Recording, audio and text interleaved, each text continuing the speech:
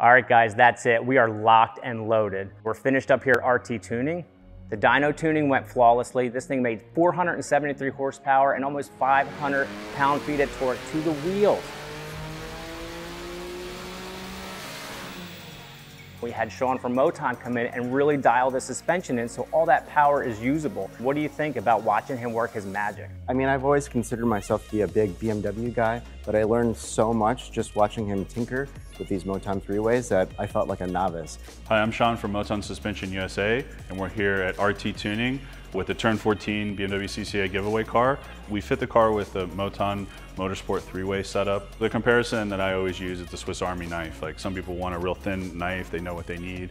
Others need a big, thick knife, and this is the thickest knife. This gives everyone the settings they need to set it up for multiple tracks, for multiple road surfaces, tires, driver characteristics, all of that.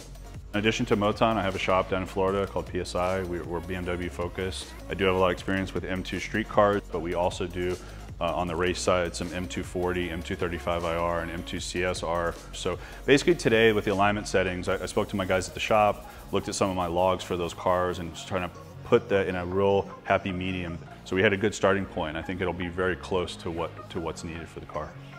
Okay, so why we love it here at RT Tuning, we are excited to get this thing loaded up and sent off to the track because the end is near. Our benchmark from the very beginning has always been the M2CS. And I think now, after seeing everything that has gone into this car, the icing on the cake is setting everything up and I'm super excited to see what it does against the M2CS. We want to beat that car, don't we? With the help of RT Tuning, Turn 14 Distribution, all our partner manufacturers, I think we're going to do it. So we are very excited to get this thing loaded up and to the track.